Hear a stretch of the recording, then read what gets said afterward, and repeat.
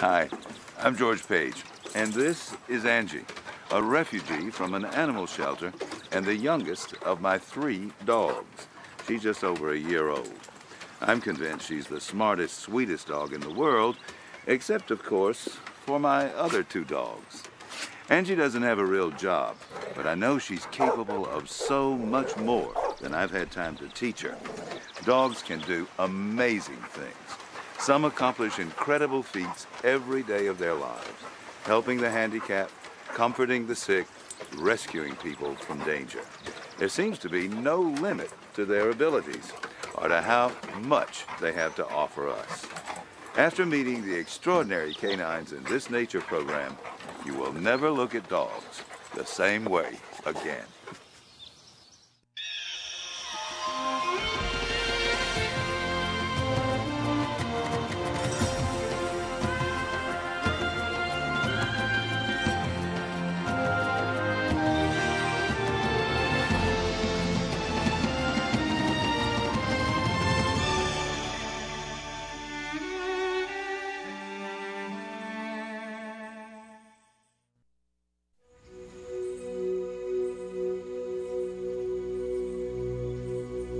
July 1991, while Dirk Tanis slept, a fire began in the kitchen.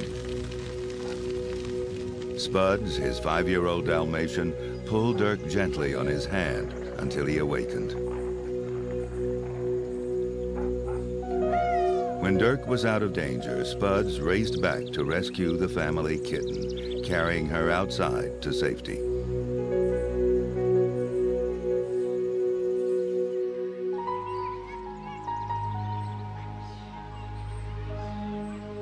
On a spring morning, five-week-old Rachel lay sleeping in her crib.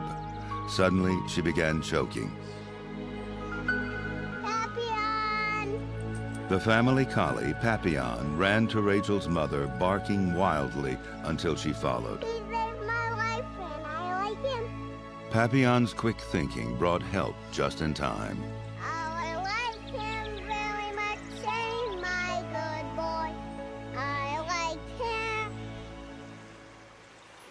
On a cool September afternoon, Dale Windsor went fishing with his dog, Pooter, in the mountains of Colorado. He lost his footing, fell into the river, and lay unconscious.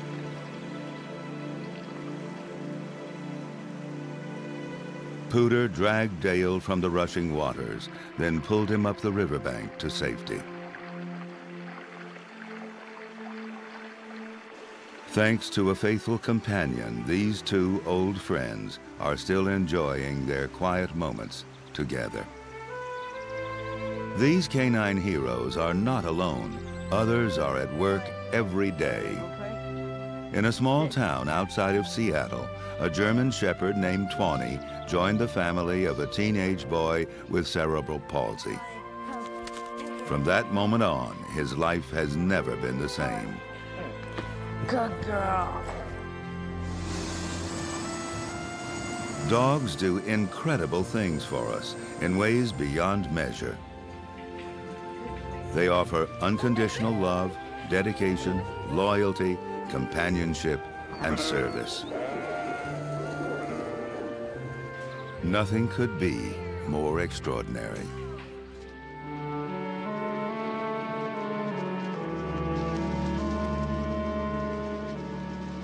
This is the story of some incredible canines. It's a story that begins deep in the past. Thousands of years ago, our ancestors developed a relationship with a creature of the wild. It is no surprise that people and wolves would be drawn together, for we shared so much in common. Like us, they were intelligent social hunters that lived in small families closely bonded to each other.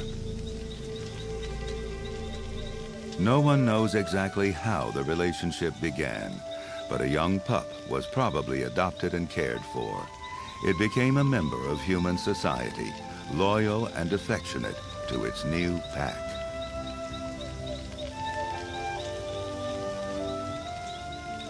The wild wolf was tamed, and over time, it became our best friend. There's a bit of the wolf in these dogs. They're aggressive, and that's just exactly what the wolf would do. They're stalking the sheep, wanting to bite them. We put commands on them and takes the bite away from them. We don't want them to bite the sheep, you see. We want these dogs to have feeling for the sheep. Dogs may not live in packs like their ancestors, but they most definitely have a pack Hello. leader. How are you today? Good boy. Good morning. How are you today? Raymond McPherson has been working with Border Collies for more than 50 years. Here in the north of England, he works his farm with the help of eight dogs. Well, this is a sort of an extension from the wild. We have uh, domesticated these animals, but yet they want to have a leader, and I think they regard me as a leader. All his dogs have the instinct to herd, but each one has a distinct style. Chip is the best. He's uh, so dedicated, so responsive to commands. He regards me as the boss, and uh, I don't regard myself as a boss. We regard each other, I, I, that's the way I see it anyway, as a working partnership. He's not only a, a working partner, he's a friend.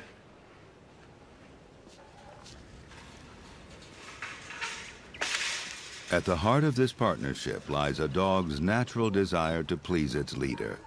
But Border Collies have another deep desire to help tend the flock. Though all dogs are shadows of their wolf ancestry, no breed illustrates this more clearly than the Border Collie. The predator lies just below the surface.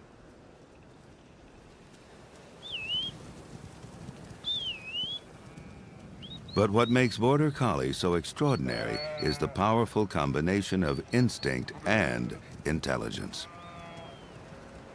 Border Collie is the finest brain of any animal in the world.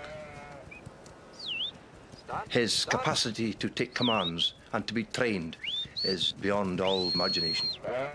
When I want my dogs to go left, I say, way to me. Lie down. I want my dogs to go right, I say, come by. Lie down. Way to me, lie down. Come by, lie down.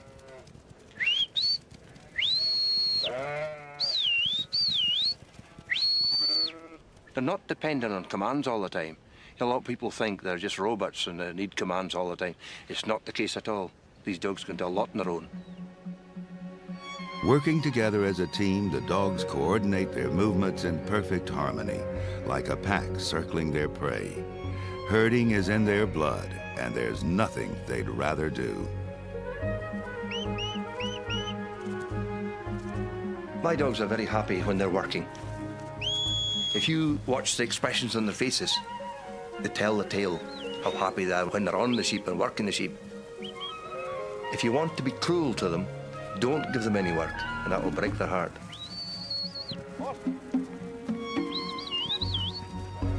Managing 2,500 sheep is exhausting work, but these dogs never complain. Border Collies can work a 16-hour day.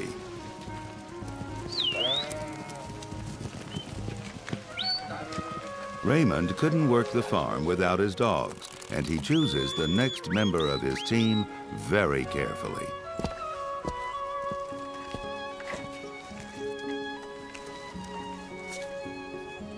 The pups are born and bred to herd, but each one has a distinct personality. I like a one with a, a cheeky sort of nature, a bit of the devil in them. That's the best one in the long term. There's one stalking another one, funnily enough. That white-headed one stalking on the other one, so that's a start. So I, I could guarantee that one will work.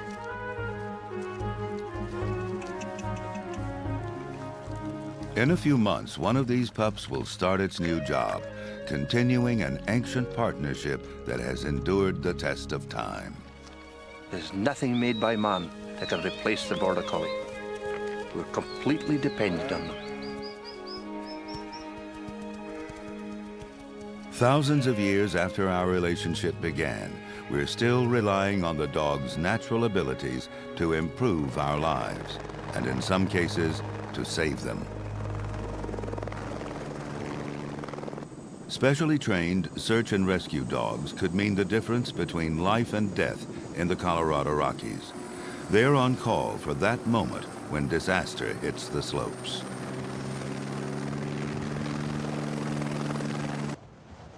After days of fresh snowfall, these mountains are like a time bomb, just waiting to explode. An avalanche starts in a flash. There's no time to escape. Anyone caught in its path has little chance of survival. Spend any time looking at this guy's face. Bring him in. In this home video, rescuers and their dogs have just found a skier trapped by an avalanche. Okay, stethoscope. Here we are. Stethoscope in that bag. Buried alive, a person can only survive about 30 minutes.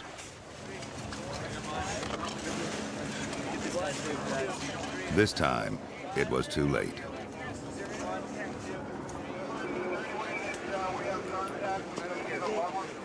If they're to have a chance of saving an avalanche victim, the canine rescue teams must practice constantly.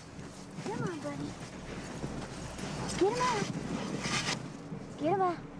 In this rescue drill, a member of the ski patrol is in a snow cave, six feet beneath the surface. Hasty, a golden retriever, uses his powerful nose to find him. That's a boy. Is somebody in there? Patty Burnett from Copper Mountain Resort is Hasty's owner and trainer. They've been working together for 10 years. Mounds of snow may all look the same, but they don't all smell the same, at least not to Hasty. A dog's sense of smell is thousands of times more powerful than our own. Good boy. Let's get him out.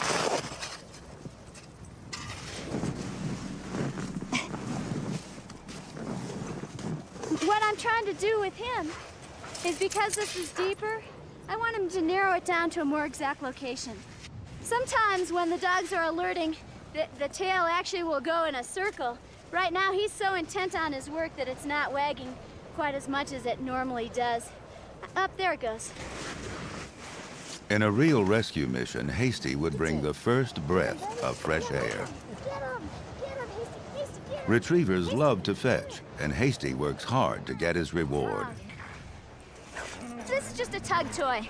The dogs really enjoy tugging, and so we have to give them some kind of a tangible reward after they've found the person. So we'll tug with them. They get the idea that they've got to get this tug toy, though, from the person in the hole. Hasty is a skilled professional, but that didn't happen overnight.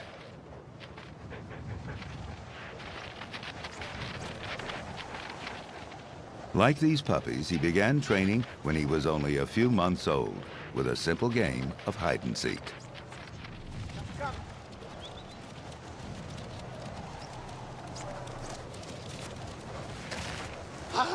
Good boy. The idea here is to make a real simple, easy exercise for the dog to solve so that they can learn that the game is fun. We want to always have them winning the game and be willing to play. Good boy, Hunter. Good doggy. Good boy. Good boy. The purpose of this exercise is air scenting. What we're trying to do here is to get the dog to be able to find us without following our trail. An avalanche victim doesn't leave a trail. Get him, Hunter. Get him. Go, boy. Go. Atta boy. Soon, these youngsters will have to learn a few things which don't come quite so naturally. They'll have to join the ski patrol wherever they go.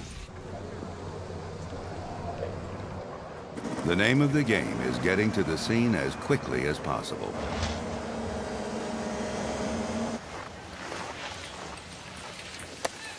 The dogs have, have built up quite a reputation at Copper Mountain. It's really funny if we're running down the hill and, and they're coming on the chairlift overhead, they'll they'll yell down, "Hey, there's Hasty or there's Skatey or Sandy." These dogs love their work. These dogs may be having fun, but their efforts could be an avalanche victim's only hope. No one on this team will give up that hope.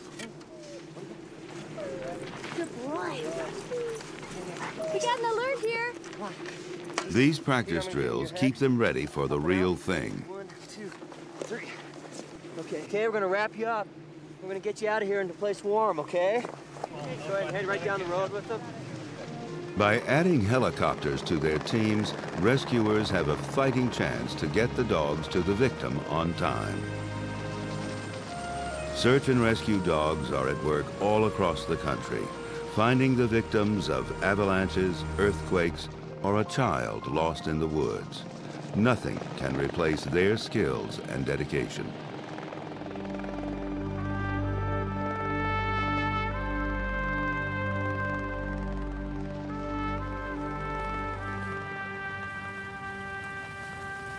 Even when we humans bring trouble on ourselves, we can still rely on our loyal friends for help.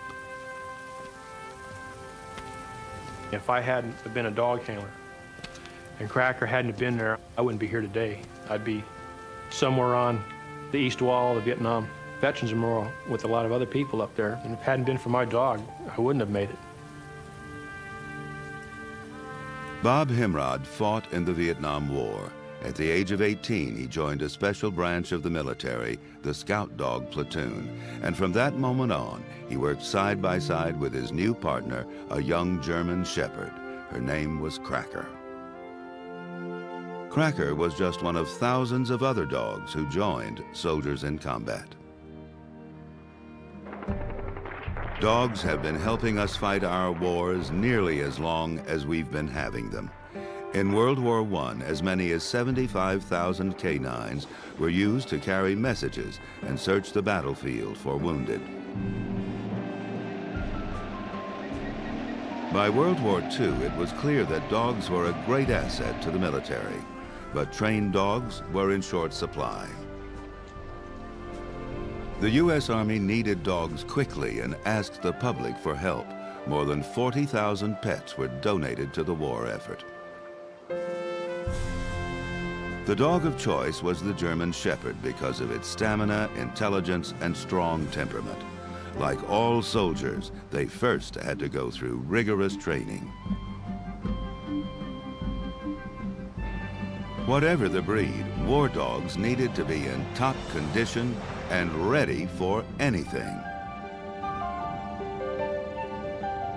The military found uses for every facet of the dog's natural instincts. Keen senses of smell and hearing, endurance, speed, and loyalty.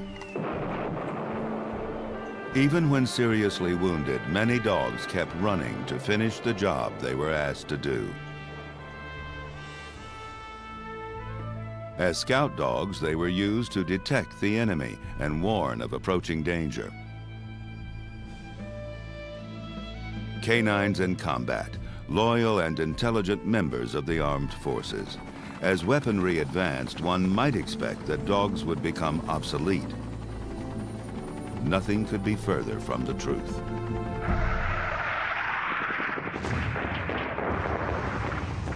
Vietnam was a guerrilla war of stealth and ambush. Scout dogs were needed more than ever. There was still one thing they could do better than any military invention, detect a hidden enemy. To the Army, dogs were tactical necessities. To the soldiers, they were faithful companions. A strong bond quickly developed between dog and handler, a bond that grew stronger every day.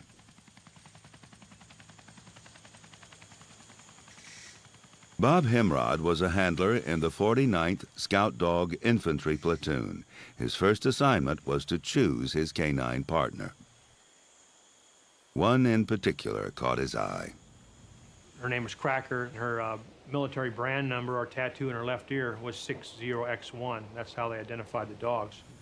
The other dogs, like, you know, hi, how are you, and then went about their way, but she stayed and wanted to play and be friendly. I guess that friendships would kind of chime me into her. The handler and the dog had to be basically one and the same, and you became a team, so you got totally dependent on one another. She looked to me for her protection, I looked to her for my protection. On mission, uh, we would get up in the helicopter, and she always got real excited because of the noise and the rotors going.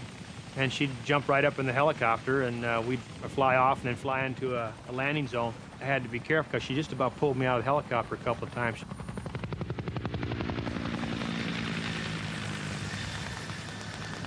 When you get in a firefight and you're just horrific, umpteen dozen people are trying to kill you and you don't know what kind of trap they've set for you.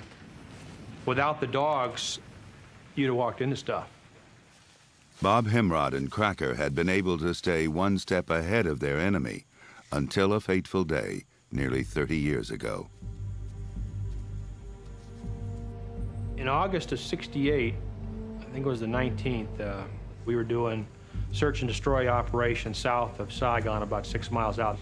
And our basic mission was to sweep the area and make contact or find enemy weapons caches. We were tasked to walk a dike and sweep uh, the bank of a river down there. I had the lead element put my cracker on harness and she started working. And she had been somewhat fatigued already because we worked some other areas. I had uh, walked up another, oh, 10, 20 feet into this uh, heavily vegetated area. There was a uh, kind of like a tree limb or branches across the trail there. Crackers went underneath the branches and stood up, and we heard a distinct popping sound. When uh, she bumped the limbs, I went to turn to get away, and uh, the thing went off. And uh, she's gagging, but was still standing, and uh, I yelled for the medic to get up there, and she walked back about five feet and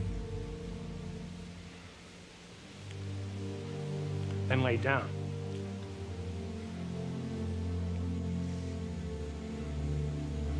The vet said I could put her out right now or let her suffer and die here. So uh, I said, well, put, give her the needle. And he put the needle in her, and uh, she went real quick. Just before she went, she kind of looked up and looked me in the eye, and I'm not sure whether it was a betrayal or, or a goodbye. But in any case, uh, she, she died. This is uh, some I've kept all these years. That's her branded name cracker, 60X1 I put on there about 28 years ago. And uh, this the leash I had on the end of my hand. And as you can see, there's numerous shrapnel wounds, just metal buckles bent over. This was six feet away from the explosion plus the dog. If she hadn't been there and caught all this fragmentation, uh, I don't think I'd be here today.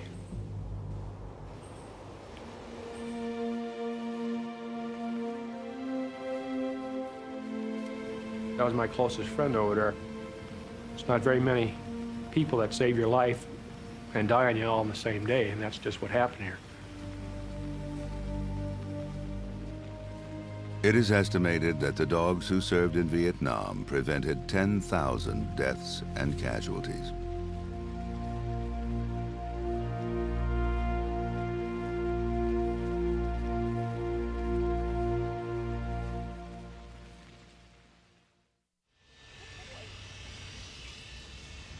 From the moment our relationship began, we've been finding new roles for dogs in our lives.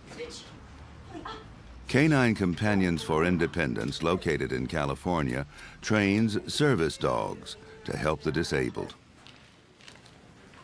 Before this puppy is accepted into school, he has to take an entrance exam, a temperament test, to evaluate his personality.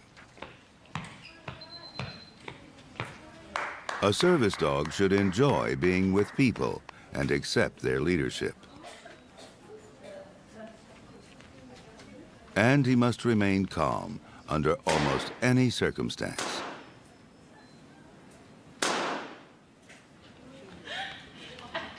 Some dogs will make it and some won't.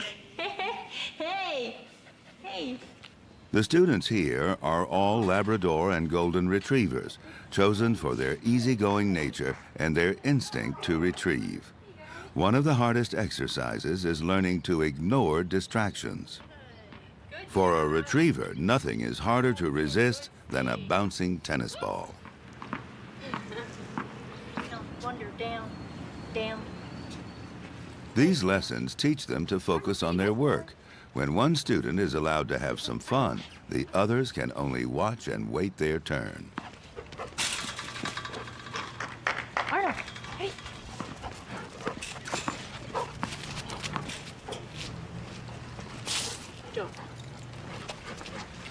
They must learn that there is a time for work and a time for play. Don't. Down. That's good. Release. Release. That's it. Release. That's it. Release. That was release. After months of training, they can resist almost any temptation. Leave it. Good boy. Students can only eat when they have been given permission. Okay, Arnold. Arnold, get it. Good. Soon, these dogs will be helping the disabled with everyday tasks that most of us take for granted. That's it. Here. Yeah, thank you. Good boy. Oh, that's it. Switch. Yes, good job. The need for graduates is so great that there is a long waiting list. Great. Fully. Up. Light. That's it. But fortunately, this is not the only school for service dogs. Other canines are learning the same skills, but in a very unusual setting. In Washington state, at a correction center for women, dogs live in prison. Their trainers are inmates, all of them convicted felons. Oh, good boy. That's very good. The Prison Pet Partnership Program, directed by Gene Hample, gives both inmates and dogs a second chance. Very good boy, touching that. Yeah, yeah. The women learn job skills, and the dogs are saved from almost certain death.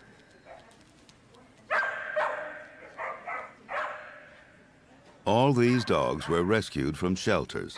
Now they will offer someone the chance for a better life. Easy, Max.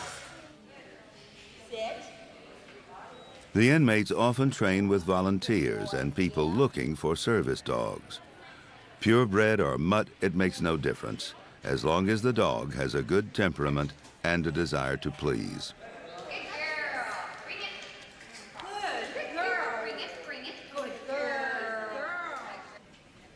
For women like Yvonne, this is a 24 hour a day job.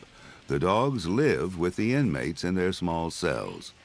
But she knows her hard work will make a valuable contribution. The things that we teach them here in the institution, they're going to go out and they're going to utilize that with someone who needs that, you know, as a part of their life. That's how they're going to get by on a day to day basis. And that's just really fulfilling inside knowing that by me teaching one of my dogs how to open a door, when she gets placed with the person, that's how they're going to get in and out of life. Ooh, Chad. One year ago, Tawny was placed with Chad Norris, a 14 year old boy with cerebral palsy. They've come back to polish some of her skills. How you doing, my dear? Kids at school Chad's visit funny. reunites some old friends. Carolyn was Tawny's trainer. The first time I saw Tawny come back in with Chad for training, uh, I was really happy. I was just, I don't know, I was almost in tears, uh, but I was just happy, you know, to see something that I did that was good. There you go, sweetie. In the beginning, there was little problems. She was a little stubborn, stubborn little girl. Good. Now reward the She turned out to be a pretty good dog at, in the end. Tawny and Chad were paired up after careful evaluation of both their personalities. It was a perfect match. But training is an ongoing process, one that's difficult for both of them. They're still learning how to work together as a team. Tell her to wait. You go across uh, to where you dropped the food the last time. She's helping him a whole lot. She's giving him independence where he don't have to have other people helping him as much. She's there for him. Pause. Good girl. Makes me feel really good, really good to know that not only did I help save her, but I'm helping someone else. Chad is in the eighth grade, and in a way, so is Tawny. They face the challenges of school together. Bye. When Tawny came into our lives, the burden every day of handling with a handicapped child just seemed to just kind of lift. She was a blessing to us. For the first time in Chad's life, he's able to go and do things on his own now. She goes everywhere he goes. Up, hold.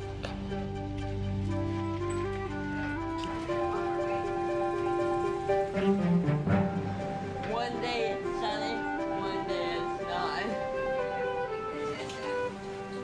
It seemed like when Tawny came into the picture, he blossomed.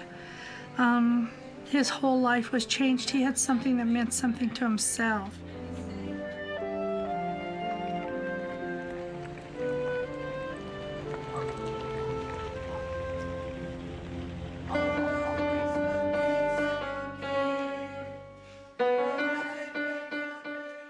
Has helped Chad more than just working for Chad. You sound just like them, except you jump down further. Tawny has helped Chad come out of a shell that he was in. And then you go up. Okay. Ready and go. Hi, Chad. Hi, Chad. She's just brought friendship all over because he is able to communicate with people. Yeah. And dog is, is um, 14. And by communicating, asking questions about his dog, they say, hey, this kid's not so bad after all. He can talk just like you and me. A lot of hands. This is great. Okay, here we go. Scribe snakes. Okay? We can go the good things and the bad things about snakes. Yeah? I got two of them. They smell with their tongues and they eat rats. Okay, Derek. They eat eggs. Good. Okay, let's do a real quick review here, then I'll let you go. For the first time in Chad's life, he's able to do things on his own now.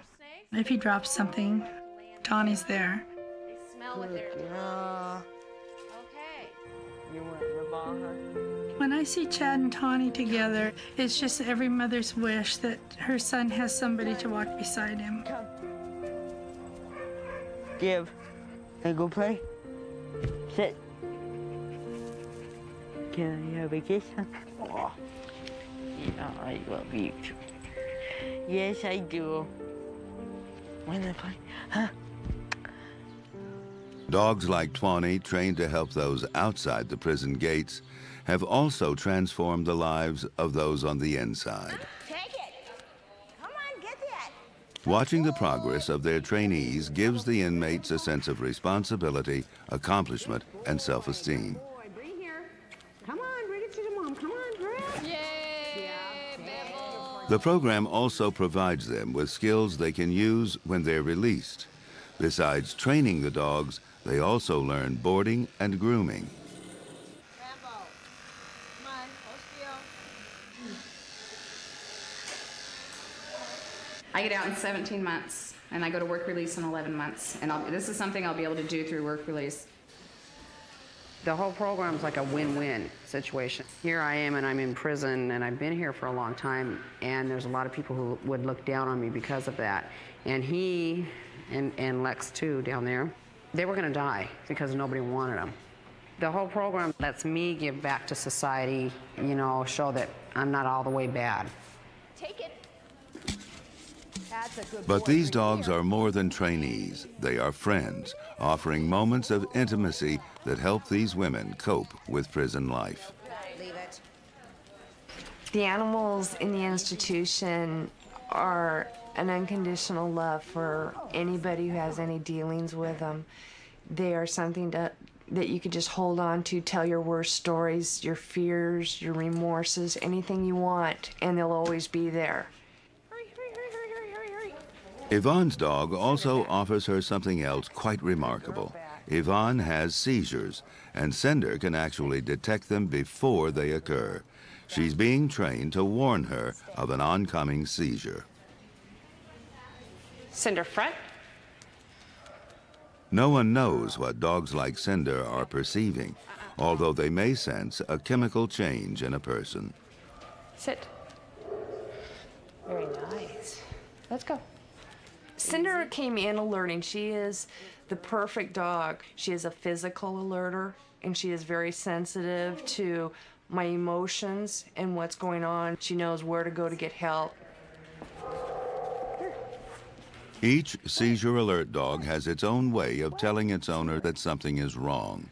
Cinder tries to get Yvonne's attention and block her path. What?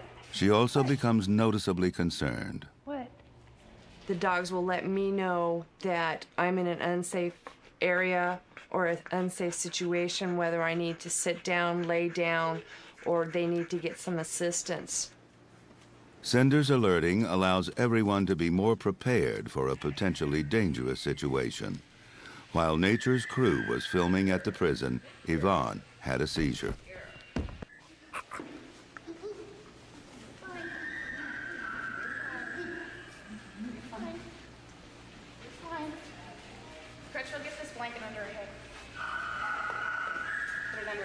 The trainers use this opportunity to teach Cinder what to do until Yvonne is safe. Atta girl, you're doing fine, baby. Though she wants to lick her face, Cinder has to learn to stay calm and wait by Yvonne's side.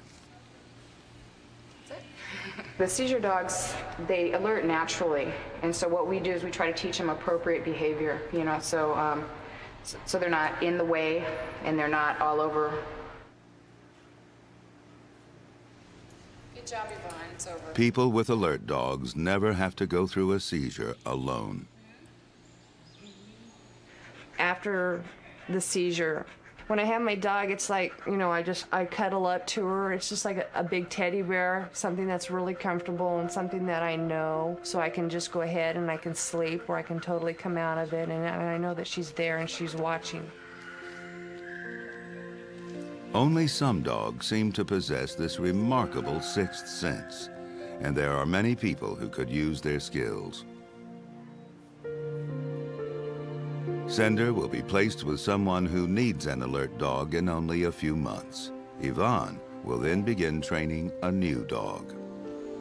It's over now. Even though they know how much their dogs will be helping someone, saying goodbye is never easy for any of the inmates. When you hand them over that first time and they're getting ready to walk out the door, that's really hard. We usually go back to the room and cry.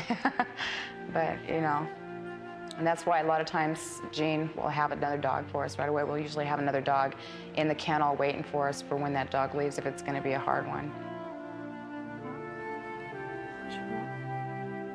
For me, it's it's really hard to let my dogs go.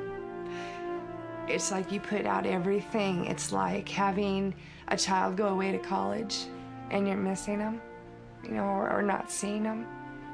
A lot of women in here have children that they don't get to see, you know, and, and this is our children that we don't get to see anymore. You know, we've raised them, we've taught them everything that we know how to do or the best that we could do. And a lot of times we don't get to see them again. You know, they're enhancing someone else's life and making it better, but it's still a chunk of ours that goes. Cinder's gonna be one of my harder dogs to let go, just because of that bond was so so quick and so tight, and everything she does is what I would want if I had one. But she's gonna enhance someone else's life, and she's gonna make an excellent seizure alert dog for someone.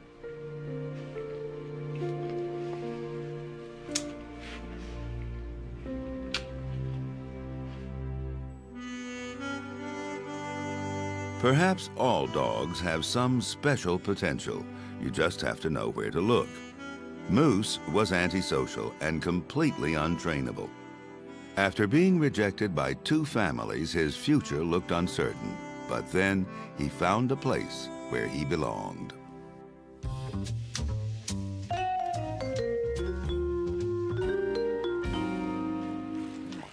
Eddie!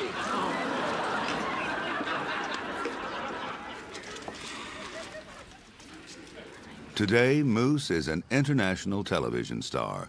He lives in Venice, California with his trainer, Mathilde Cagny. She adopted this juvenile delinquent when his owners couldn't deal with him anymore. Good. Good. You want to play? You want to play? You want to play? Go get it. Come on, Moose. He was really independent, a big attitude, arrogant. Uh, he was so independent, I will pat him and he will always get away from me. And nothing really to be nasty or anything. It was just like, "Mm, you know, I don't really care for you and- or anyone, as a matter of fact. Come here, buddy. Good. I started to, you know, play with his body and massaging him, and, and, and he kind of like went, wow, this is not too bad.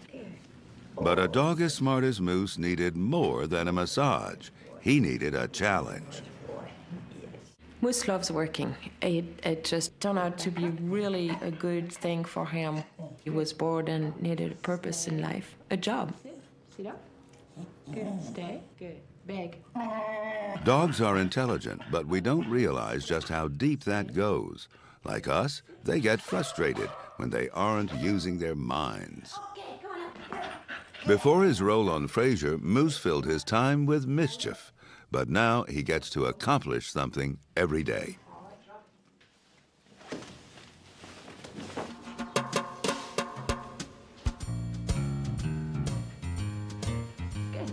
You ready?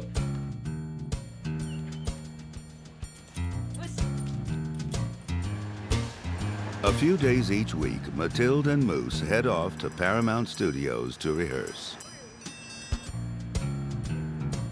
As soon as he arrives on the set, Moose, whose stage name is Eddie, is ready for action. This is where he's at his best. He enjoys learning something new, and he's completely focused on his work. I just need to rehearse once with him here. Stay. Stay. We share a lot of moments on the set. When he's working and really I can't be talking, we send each other a lot of vibes and a lot of I'll be smiling when he's doing good and I'll do this when when it's like no no no no no and he, he can feed all that for me. Stay. Very good. He's good at acting. He's a good actor, huh?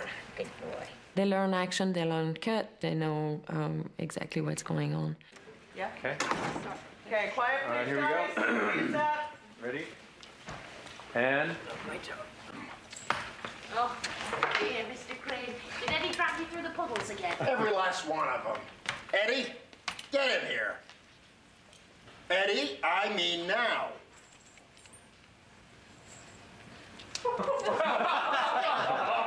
what am I gonna do with you? My shoes are soaked. Eddie, look at me when I'm talking to you. Eddie, listen to your father. Moose gives his all because it makes him happy. Eddie, I want you to go to your room and think about this. Once he's learned one routine, he just wants to know what's next. While everyone else is practicing their lines, Mathilde and Moose have a silent dialogue going on. The two of them exist in their own little world. Oh, all right, you're forgiven. yes, I love you too. You know, you'll always be my best boy. When you spend so much time with a dog, working and living with them, you kind of almost feel like it's a marriage. There is a lot of love, there is fights, there is fun, but we also um, make sure we both have our space and time out. Mathilde and Moose relax at home with a few other actors. Clovis, one of the stars of Homeward Bound 2, and Enzo, Moose's son and stand-in. All right, come on. But Moose knows when it's showtime. Moose knows the difference between rehearsal and um, shooting day. As a matter of fact, he knows the days of the week. You'll see a complete different attitude in a dog in show nights. Basically, they become what you call camera wise. They can feel the vibes, they know the audience is there, the music is going.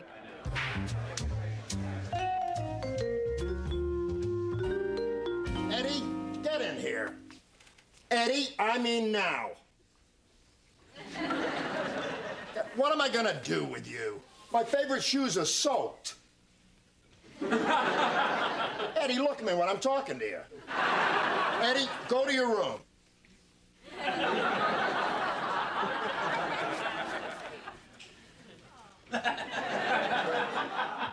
Moose may be a star, but the best thing that ever happened to him is that someone noticed his enormous potential and gave him the chance to blossom.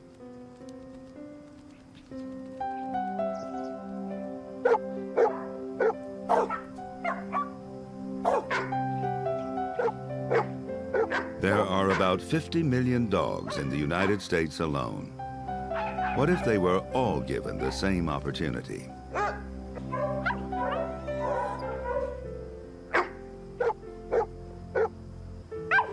Here in the suburbs of Maryland, two ordinary pets are getting ready for work. On, guys, here. Good boy, Scooter. Come on. First, they have to take a bath.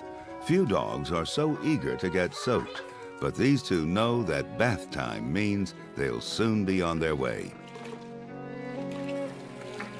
Molly and Scooter work as therapy dogs, visiting people in hospitals. Before each visit, they have to get squeaky clean. That's a good boy. Yes. Oh, yes. Thank you so much. Sue Patrick volunteers with her dogs because she knows how much they can help patients.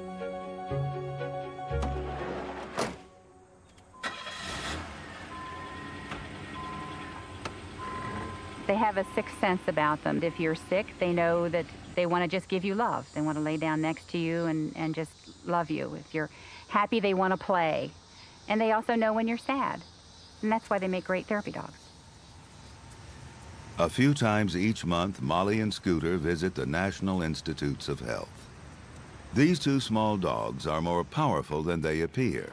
They are treatments in huggable form. Therapy dogs come in all shapes and sizes. They just need to be well behaved and friendly. The owners all gather with their pets until it's time to head off on their appointed rounds. The children at the clinical center have serious illnesses. They've come here for experimental treatments, which could save lives. You remember who this is? There's a brush, there's a brush. Some of these children are hospitalized for such long periods of time, and you're just bringing a little joy into their life. Kisses, kisses, oh, Molly. When the children don't feel good, and you bring the dogs in, it's it's the look on their face. Come on, let's go. He's getting intense over there. I was in the hospital for a month. Now I really miss my dog at home. When the dogs came in, they jumped right into my bed and slicked me. And that made me feel a lot better.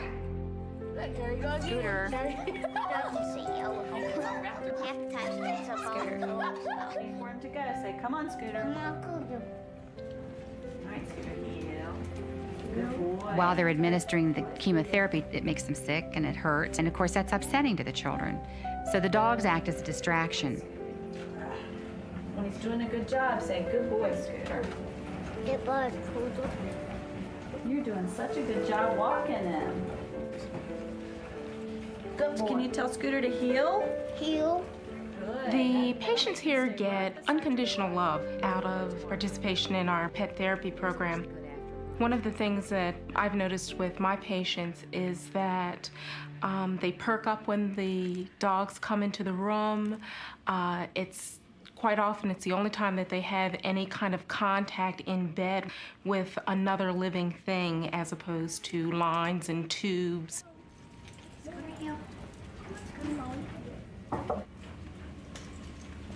Hi, Bernie. How are you? Hi, how are you? Hi, Scooter's come to visit you today. You ready for a dog visit? Yeah. Ready. Scooter's ready to say hi to Bernie. Okay, Scooter sit. Scooter down. Scooter down.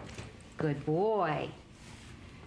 Oh boy, has he been waiting all day for this? Oh, oh, there he goes. Yeah, see, See, the he minute takes you his try to paw, as soon as you stop, he yeah. hits you with his paw and says, "More, more." They really made a big difference. Um, there were times that Bernadette was in so much pain and just so sick. She didn't want to eat. She didn't want to play. There just wasn't anything that could get her out of the, you know, the doldrums. The only thing that made a difference was her knowing that the dogs were coming. When everybody else from the clinic goes home and you're left here with this little girl who's in a lot of pain and just won't respond to anything, when a dog comes in and jumps up on the bed and gets her to smile and just open up and be herself again, it really makes a difference. Brian. Hi, Brian. Unconditional love, acceptance, moments of joy and laughter.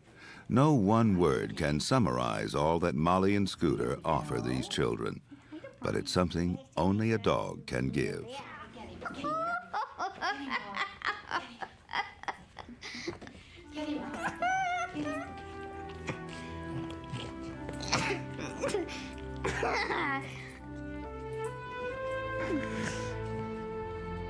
What makes dogs so extraordinary?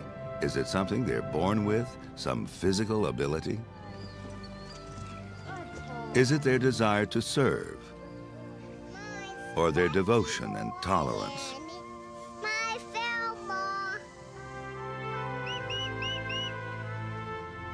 Is it their intelligence or their endless desire to please? Good. Hold it. And what is this bond that draws us together? Is it something we will ever understand? Do we really need to? Yeah. Whatever it is, it seems like it will last forever.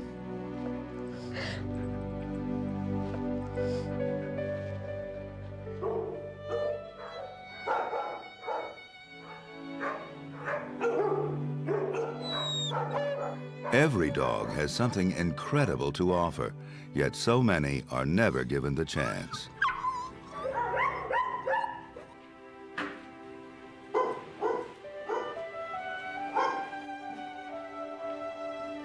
Millions of dogs are brought to shelters every year in the U.S. alone.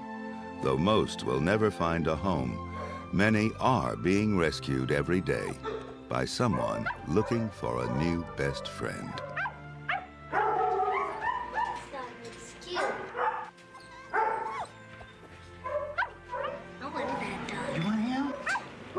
What gift will this puppy bring its new owner? Want to hold him? Only time will tell, but there's no doubt it will be something extraordinary.